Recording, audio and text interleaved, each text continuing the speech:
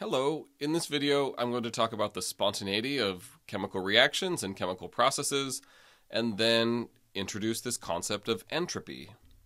So first off, what is a spontaneous process? So it's something that takes place without the input of energy from an external source. That kind of makes sense, it does it on its own accord.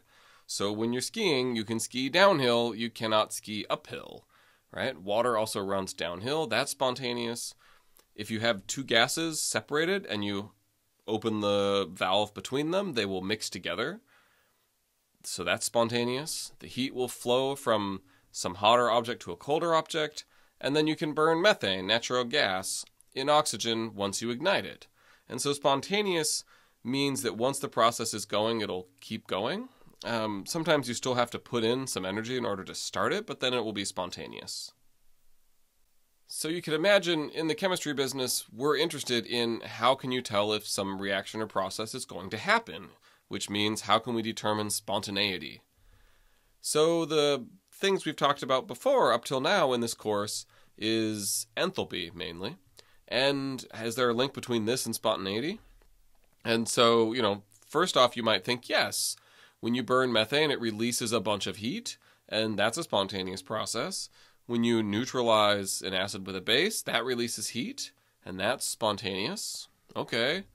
But then there's plenty of examples where this is not true. So if you have ice and then you melt it, which we know this is spontaneous at some given temperature, um, then you have a positive enthalpy. This needs to absorb heat from the environment in order for ice to melt, but it does that very well, thank you. Also, if you take ammonium nitrate, which is the chemical that's present in those ice packs where you kind of break it a little and shake it up and it go, gets cold, that is a spontaneous process. And that also has a positive delta H. So, moral of the story here is that we cannot use enthalpy as a criterion for spontaneity. It doesn't work. Another example gases mix spontaneously. I already talked about this and the enthalpy change here is roughly zero when you mix gases um, or expand them into different containers, but it's still spontaneous.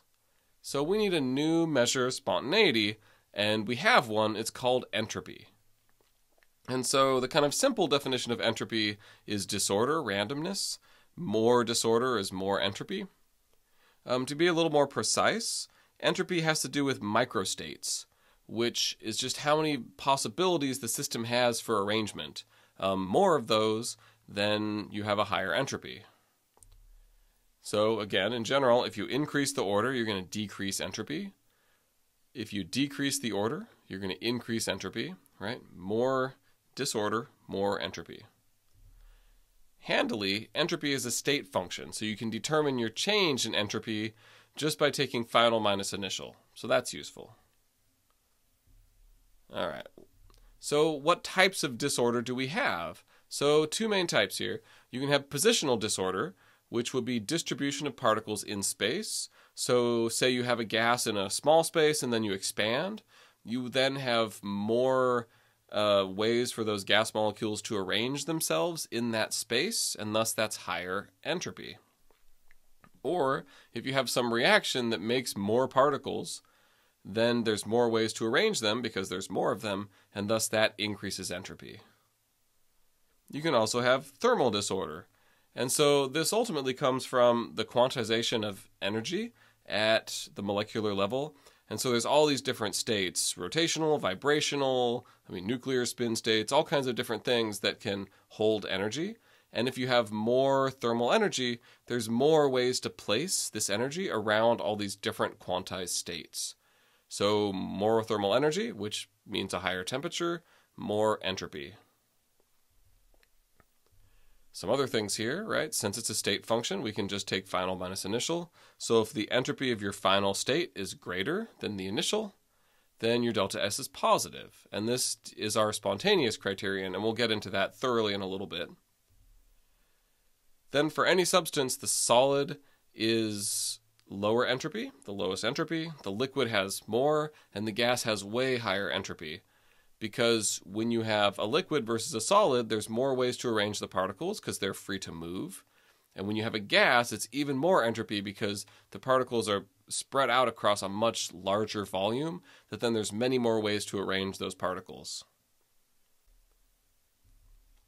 So if you have some process that's working its way towards equilibrium, you'll start out at some entropy value, and then since a spontaneous process increases entropy, which we're kind of building towards our thorough definition of that, as you work towards equilibrium, you're going to increase entropy. This is through the spontaneous process. And then once you reach equilibrium, well, remember the reaction is still going forwards and reverse, but overall, from a kind of statistical point of view, you're not increasing or decreasing the disorder when you're at equilibrium, and so the change in entropy is zero at equilibrium. So, all right, change in entropy, zero. Now, if you have an isolated system, which means no heat in or out, or no mass or particles in or out, then a spontaneous process there means you have to increase the entropy, more disorder. Now, if you have an unisolated system, then it's a little more complicated, and we'll talk about that in a minute. So, just to kind of drive this home, what processes lead to an increase in entropy? Here's some examples, right? I hit on you melt or you vaporize something. And then if you have a solute and you dissolve it, that increases entropy because the particles now can arrange themselves in many different ways as opposed to being held in the solid. I talked about increased thermal disorder, and then we also hit on increase of particles. All right, so some simple questions, and then we'll move on. So, how does the entropy of the system change when you heat some a gas? Well, your entropy is going to increase because there's more thermal energy and more ways to spread them about the various quantized energy level of the molecule. All right. What about when dry ice sublimes? The entropy here also increases because you go from a solid to a gas, and there's many more ways to arrange the particles of a gas than there are of a solid. All right, and this one will be your pre-quiz question. Um, what happens when sucrose crystallizes, i.e., forms a solid, from a supersaturated solution of sucrose in water?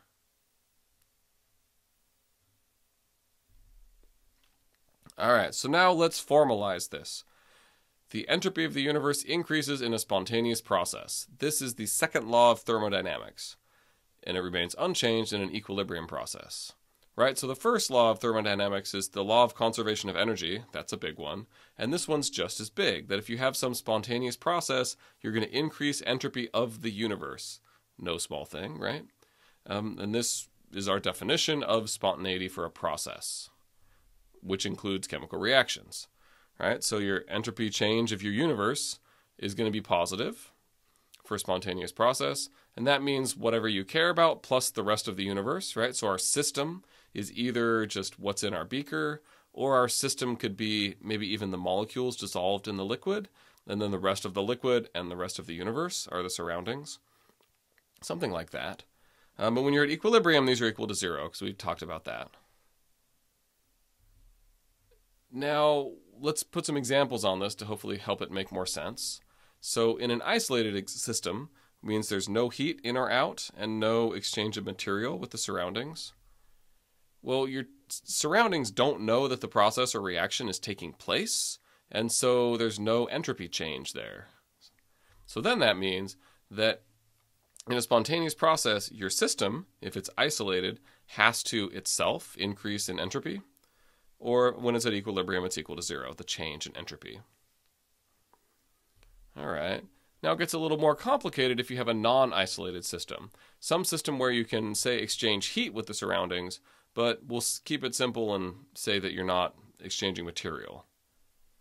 So now here, your spontaneous process, the entropy change of the universe, has to be positive.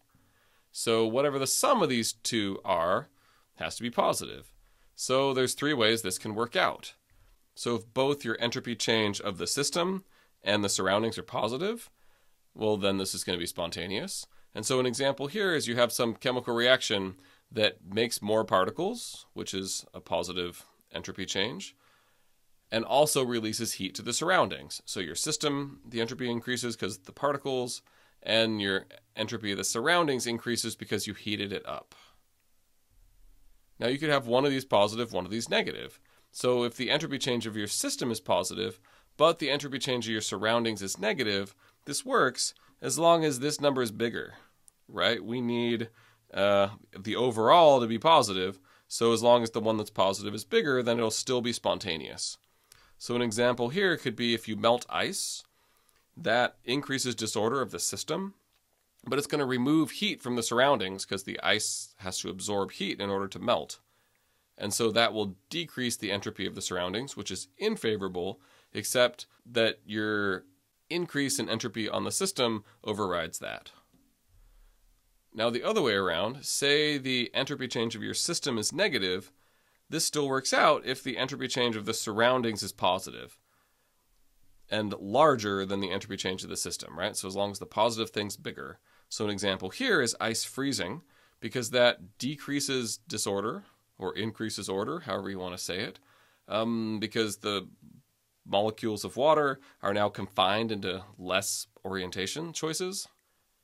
But this is going to release heat when something freezes, and so then that increases the entropy of the surroundings, and then that overrides the overall calculation, and thus this is a spontaneous process. Of course, spontaneity here also depends on temperature because ice will melt or freeze at different temperatures. And so the when you dig into the theory a little more, it actually includes how entropy will change with temperature, uh, which we're not going to get into here. All right, let's step back for a minute and review the three laws of thermodynamics. So this one is old news, right? Energy cannot be created or destroyed. We talked about that in the first semester of this class.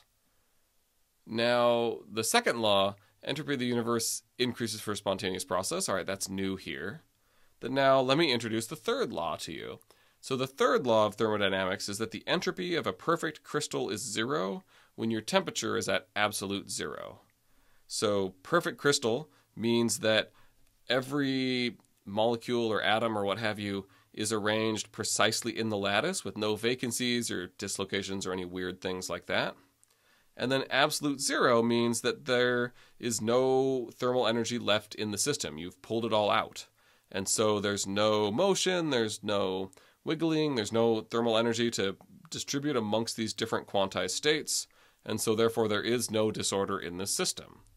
So this is new for entropy, that there's a theoretical zero. When we talked about enthalpy, we could never give the enthalpy of a certain product absolutely, but here we can with entropy. So this chart is cool too, so I'll talk about this.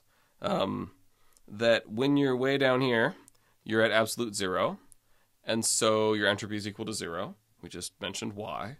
And then as you heat it up, well, then you'll get an increase in entropy because now there's thermal energy that can distribute amongst these different states. Then once you hit the uh, melting point, you'll have a sudden increase in entropy when you go from a solid to a liquid. Then as you heat the liquid, entropy goes up. Then you have an even bigger sudden increase when you boil the thing. Because we talked about how this change from liquid to gas is much bigger than the change in solid to liquid in terms of possible orientations or distributions of particles. Then as you keep heating the gas, your entropy goes up as well. Okay, and that's all I have for this video. So keep this in mind because when we go forward, we're going to use entropy as part of an absolute determination of reaction spontaneity that's a little broader of a definition than what we talked about here. And you'll need to know what entropy is to do that. All right, thanks for watching.